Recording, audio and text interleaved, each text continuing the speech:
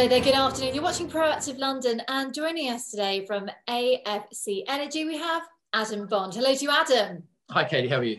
I'm really good. So very excited to learn about your new deal that's been inked here. I'm really excited because it's all about the electric vehicle charger market. You've struck up this deal with the Swiss electrical systems giant ABB. So tell us about the deal and exactly, first of all, how you two came to collaborate. Sure. Well, we've been talking to ABB now since about February, just before we went into lockdown in the UK. And uh, over the course of the lockdown process and, and, and up till now, we've been engaging with them on our fuel cell system. And in particular, the ability for our fuel cell system to be used in off-grid or remote locations. Um, now, ABB is, a, is a, as you mentioned, is a, is a large global sort of conglomerate um, and uh, are probably one of the leaders, if not the leader in electrification uh, solutions and technologies for their customers. And uh, we started talking about the obstacles and challenges associated with electric vehicle charging, of which ABB is, you know, arguably one of the world's leaders in uh, EV ultra rapid charging systems. And so, with the, um, the system that AFC launched actually about a year ago to, to this month, uh, we, we had an EV charger that was uh, powered by our fuel cells and, and, and zero emissions um, the, the conversation just evolved really into how can AFC and ABB leverage each other's uh, capabilities to create a quite a unique um, product for a, for a global market. And as we've seen in the in the press, even as recently as, as a few weeks ago, with the UK government's 10 point plan for for, uh, for, for decarbonisation, you know, two of the key points in that 10 point plan were around hydrogen and electric vehicle charging. And, uh, and you know, we're very proud to be a, a British company trying to achieve uh, or, or, solve some of the challenges uh, now with our partners ABB that are being faced by the UK and, uh, and by the global community in the decarbonisation of, uh, of the transportation sector.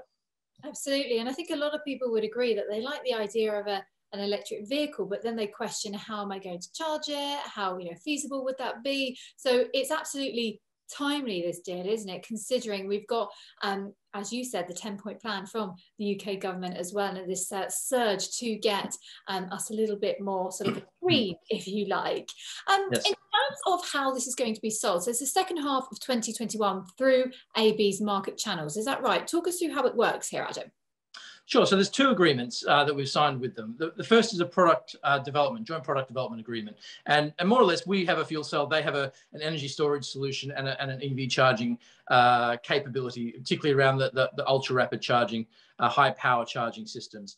And, uh, and so what we're looking to do is integrate those two systems.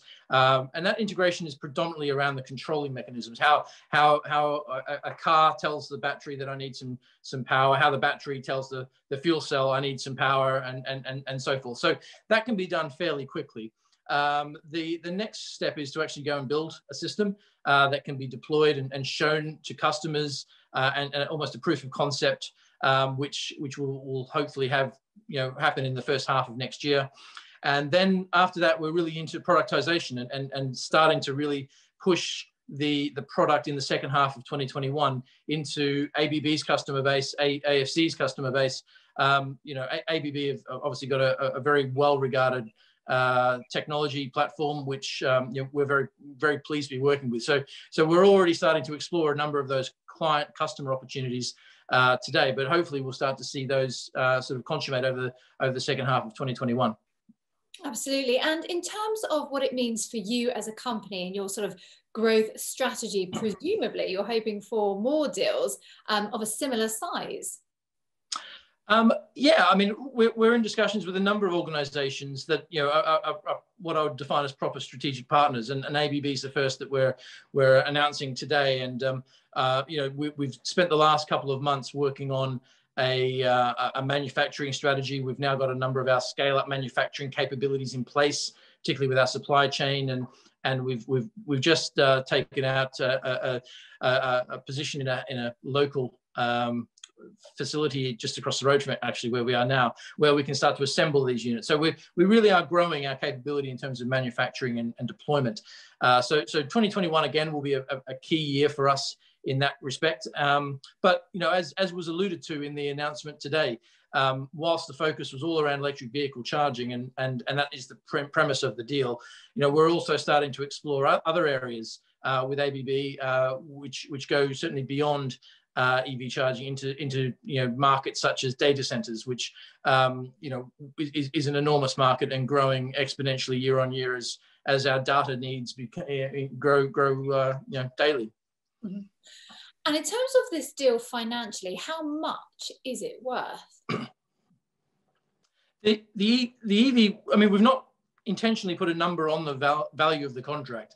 Um, the EV market globally by, by 2030 uh, in terms of charging uh, is, is to be valued somewhere around the 140 billion uh, dollar mark. And, uh, and with that, you know, ABB are a large player in that market. So, um, you know, they, they will obviously seek to grow, grow that position and, and, uh, and consolidate that position uh, over the course of the next decade.